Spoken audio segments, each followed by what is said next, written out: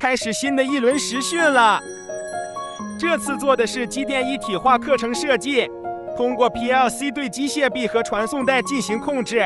接下来看看我们的成果吧。小车进入时，电感传感器被触发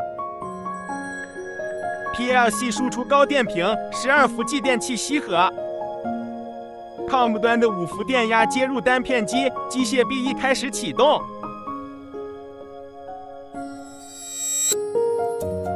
当物料取下放置 A 点，通过串口通讯启动机械臂二。为了防止机械臂相互碰撞，要腾出一定的空间。机械臂二开始启动。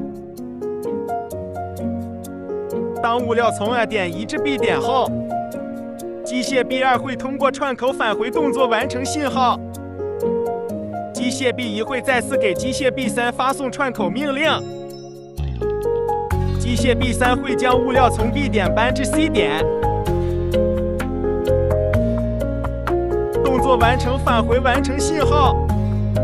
这时机械臂一将再次启动，将物料送至小车上。